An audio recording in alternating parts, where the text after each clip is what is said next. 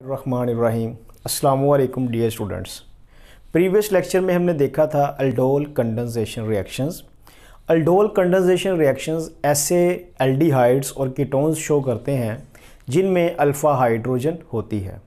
अब ऐसे carbonyl compounds जिनमें अल्फ़ा हाइड्रोजन नहीं होती, वो कैनीजारोज रिएक्शन शो करते हैं। तो आइए इसको हम डिस्कस करते हैं कैनीजारोज रिएक्शन। सबसे पहला पॉइंट आपने स्टूडेंट याद रखना है के only only those aldehydes only those aldehydes having having no alpha hydrogen alpha hydrogen will show such reactions okay हो गया? सिर्फ़ ऐसे एल डी हाइट्स ये वाले रिएक्शंस शो करेंगे जिनमें अल्फ़ा हाइड्रोजन नहीं होती। इससे रिलेटेड मैं यहाँ पे एक मल्टीपल चॉइस क्वेश्चन लिखता हूँ। आप उसका आंसर बताइएगा। यानी कि आपने आइडेंटिफिकेशन करती हैं कि कौन सा कंपाउंड जो है उसमें अल्फ़ा हाइड्रोजन नहीं है। तो which which one of following which one of following will not will not undergo Canizaro's Canizaro's reaction के कौन सा कंपाउंड जो है मुतलका ऑप्शंस में कैनिदारोज रिएक्शन शो नहीं करेगा। अल्फ़ा ऑप्शन फॉर्मेल्डिहाइड इसी तरह। बीटा ऑप्शन एसिटल एल्डिहाइड इसी तरह चार्ली ऑप्शन, बेंज एल्डिहाइड और इसी तरह delta option, trimethyl trimethyl acetaldehyde clear होगा स्टूडेंट्स? तो ये ऑप्शंस हैं।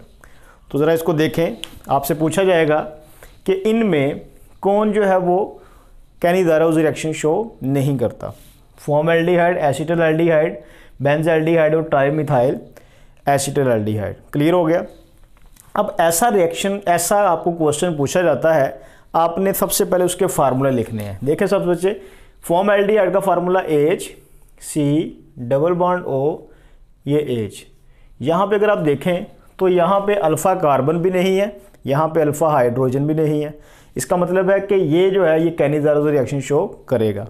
इसी तरह students acetaldehyde C H three C double bond O ये एच आ गया। तो यहाँ पे देखें स्टूडेंट ये क्या है? कार्बोनाइल के साथ ग्रुप के साथ अटैच है ये। तो ये अल्फ़ा कार्बन है। इसके ऊपर तीन अल्फ़ा हाइड्रोजन है। इसका मतलब है कि ये कैनिजारोज रिएक्शन शो नहीं करेगा, क्योंकि इसमें तीन अल्फ़ा हाइड्रोजन आ गए हैं। तो यहाँ पे ऑप्शन क्या बनती है फिर? यहाँ पे बेस्ट ऑप्शन है बीटा चार्ली बेंज एल्डिहाइड तो बेंज एल्डिहाइड का फार्मूला क्या होता है जी? इस तरह ये बेंजीन है और बेंजीन के किसी भी कार्बन के ऊपर यहाँ पे हम अटैच कर देते हैं फोर माइल ग्रुप तो यहाँ पे स्टूडेंट अगर देखें तो यहाँ पे अल्फ़ा कार्बन तो है, लेकिन अल्फ़ा हाइड्रोजन नहीं है। इसका मतलब है ये भी क्या शो करेगा? ये भी कैरीजारोज रिएक्शन शो करेगा। इसी तरह ट्राई मिथाइल एसिटल एल्डिहाइड तो ट्राईमिथाइल एसिटल एल्डिहाइड का फार्मूला क्या है? कि तीन मिथाइल लगे हुए हैं सी एच थ्री और अल्फ़ा कार्बन के साथ अटैच हैं। ये आगे क्या लगा होगा जी? आगे ये फोर माइल ग्रुप तो फोर माइल ग्रुप के साथ यहाँ पे देखें, क्या है? तीन मिथाइल अटैच है। तो यहाँ पे अल्फ़ा कार्बन तो है, लेकिन अल्फ़ा हाइड्रोजन कोई नहीं है। क्लियर हो गया? तो इनमें formaldehyde benzaldehyde trimethyl acetaldehyde जो है, ये कैनिजारोज रिएक्शन शो करेंगे। लेकिन एसिटल एल्डिहाइड जो है, ये कैनिजारोज रिएक्शन शो नहीं करेगा। उसकी रीज़न क्या है?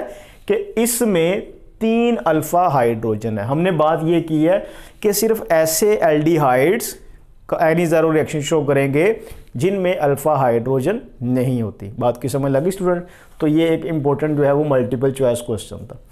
अब यहाँ पे हम डिस्कस करते हैं कि कैनी दारोज रिएक्शन में रिएक्शन कैसे होता है। अब ये स्टूडेंट याद रखिएगा, ये एक बेस कैटालाइज रिएक्शन है। ये क्या है एक?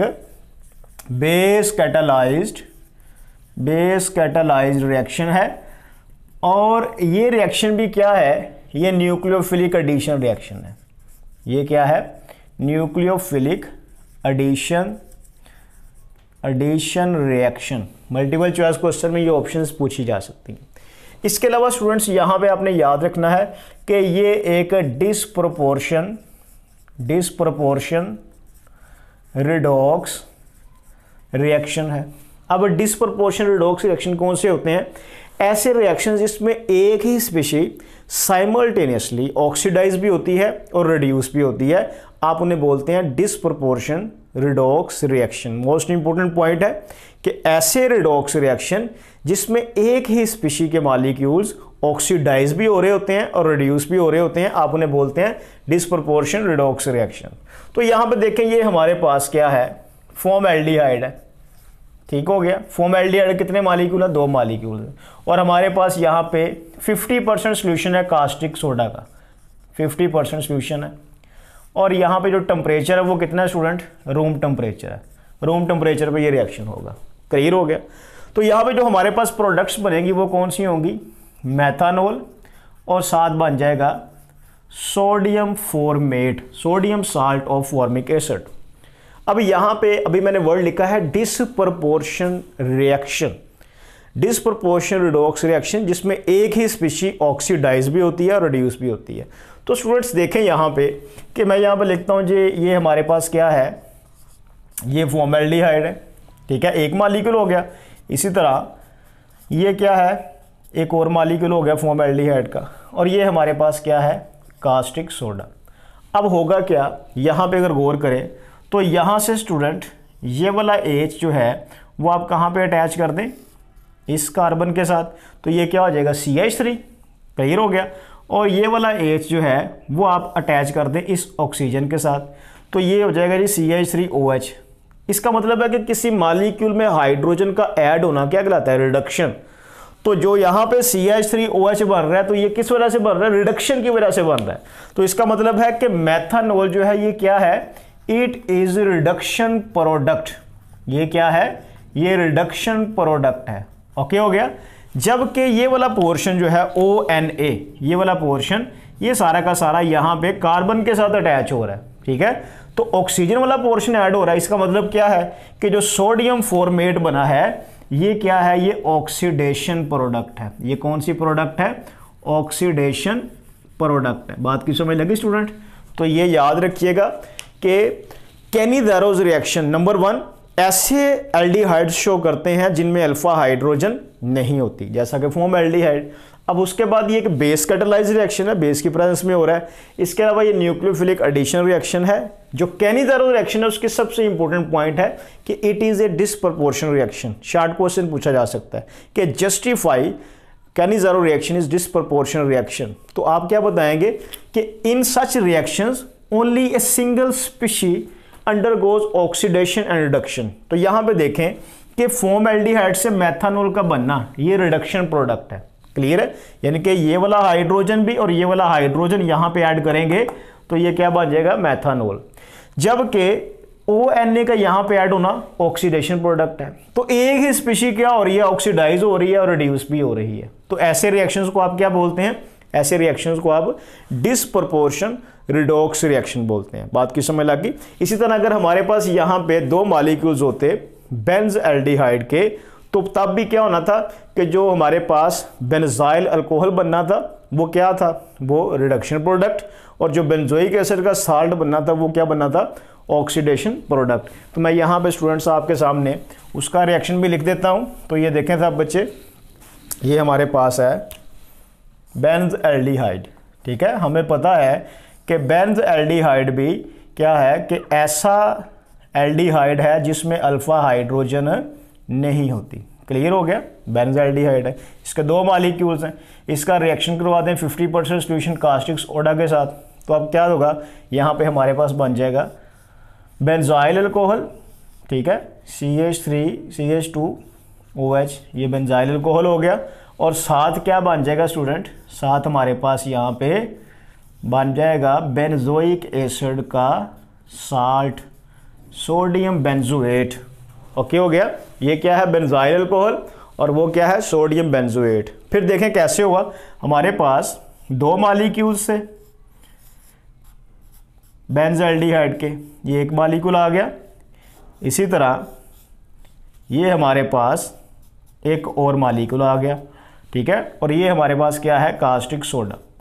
तो यहाँ पे स्टूडेंट क्या होगा कि ये वाला हाइड्रोजन और ये वाला हाइड्रोजन ये दोनों हाइड्रोजन आपने क्या किए हैं? यहाँ पे ऐड कर दिए एक यहाँ पे एच लगा दो, एक एच यहाँ पे लगा दो। तो ये C H two O H हो जाएगा। क्या बन गया ये? बेंजाइल कोहल रिडक्शन प्रोडक्ट है। जबकि ये वाला पोर्शन ओ एन ए वो आप इस कार्बन के साथ अटैच कर दो तो वो क्या बन जाएगा? सोडियम बेंजोएट तो इसका मतलब है जो अल्कोहल बन रही है, वो क्या है? वो रिडक्शन प्रोडक्ट है। जबकि जो साल्ट बन रहा है एसड का, वो क्या है? ऑक्सीडेशन प्रोडक्ट बात की समझ लगी? अब हम देखते हैं कि इस रिएक्शन का मैकानिज्म क्या है। इस रिएक्शन का मैकानिज्म बेटा देखते हैं हम। यहाँ पे मैं ये रेज कर रहा हूँ। मैकानिज्म ऑफ़ कैनीदारोज रिएक्शन जब लॉन्ग क्वेश्चन आएगा तो आपने इसके साथ मैकानिज्म को भी मैंशन करना है। तो मैकानिज्म देखें जी। मैकानिज्म ऑफ़ कैनीदारोज रिएक्शन तो यहाँ पे स्टूडेंट जो बेस होगा, वो बेस एक्ट करेगा एज ए न्यूक्लियोफाइल और वो डायरेक्टली अटैक किसके ऊपर करेगा? कार्बोनाइल कार्बन के ऊपर। तो यहाँ पे देखें, इस कार्बन के ऊपर क्या है? पार्शियल पॉजिटिव चार्ज ये पार्शियल नेगेटिव चार्ज तो ये वाला बेस जो है, वो इस कार्बन के ऊपर अटैक करेगा। अब यहाँ पे ये बेस नहीं है। यहाँ पे ये न्यूक्लियोफाइल के तौर पे एक्ट कर रहा है। अब हमें पता है कि कार्बन चार से ज़्यादा बाढ़ नहीं बनाता तो ये वाले दोनों इलेक्ट्रॉन कहाँ शिफ्ट हो जाएँगे? ऑक्सीजन के ऊपर ठीक है? तो ये क्या बन जाएगा? ये देखें आगे। ये हो जाएगा जी ये आ गया ओ OH, ये सी ये एच ये एच और ऑक्सीजन के ऊपर क्या आ गया? कंप्लीट नेगेटिव चार्ज बात की समझ लग गई? अब स्टूडेंट नेक्स्ट स्टेप में क्या होगा? नेक्स्ट स्टेप में यहाँ से हाइड्राइड आइन जो है वो जनरेट होगा। ठीक है? अब मैं इसको लिख रहा हूँ, इस मालिक्यूल को। देखें कैसे लिखते हैं। ये हमने लिख दिया जी। ये आ गया एच इसी तरह यहाँ पर भी एच ये आ गया ओ और इसके साथ ये ओ एच आ गया। ठीक हो गया? ऑक्सीजन के ऊपर क्या है? कंप्लीट नेगेटिव चार्ज इसको मैंने ऐसे लिख लिया। अब होगा क्या कि ये वाले दो इलेक्ट्रॉन जब यहाँ पे शिफ्ट होंगे तो इसका मतलब है ये वाले दो इलेक्ट्रॉन कौन ले जाएगा? ये हाइड्रोजन ले जाएगा। तो यहाँ पे हमारे पास क्या बन जाएगा ये सब बच्चे देखें। ये H C double bond O H formic acid बन गया। साथ क्या जनरेट हो जाएगा? हाइड्राइड आइन ठीक है? साथ क्या जनरेट हो गया? हाइड्राइड आइन जनरेट हो गया। अब ये हाइड्राइड आइन क्या करेगा? ये दूसरे फॉर्मेल्डिहाइड मालिक्यूल के कार्बन के ऊपर जो है वो कार्बोनाइल कार्बन के ऊपर अटैक करेगा। ठीक है? ये आ गया यहाँ पे। ये पार्शियल पॉजिटिव चार्ज ये नेगेटिव चार्ज और ये कंप्लीट नेगेटिव चार्ज ये इस कार्बन पे अटैक करेगा। ये दो इलेक्ट्रॉन शिफ्ट हो गए किसके ऊपर? ऑक्सीजन के ऊपर। तो यहाँ पे देखें, ये क्या आ गया? एच सी ये एच ये एच और ऑक्सीजन के ऊपर अब क्या आ जाएगा? कंप्लीट नेगेटिव चार्ज ठीक हो गया? ये क्या बन गया? अल्कोहल का कॉन्जुगेट बेस मैथोक्साइड ठीक हो गया? अब ये मैथोक्साइड जो है, वो इस एसड के साथ रिएक्शन करेगा, ठीक है? तो मैं डायरेक्ट यहाँ पे लिख रहा हूँ, आप वैसे इसको सेपरेट लिखिएगा। ये हमारे पास क्या आ गया? ये हमारे पास फॉर्मिक एसिड आ गया। क्लियर हो गया? तो यहाँ पे ये कॉन्जुगेट बेस है अल्कोहल का, और ये बेटा जी क्या है? ये ये एसिड है, ठीक है? इलेक्ट्रोनेगेटिविटी के डिफरेंस की वजह से। तो यहाँ पे ये क्या होगा? ऑक्सीजन का नेगेटिव हाइड्रोजन पे अटैक करेगा।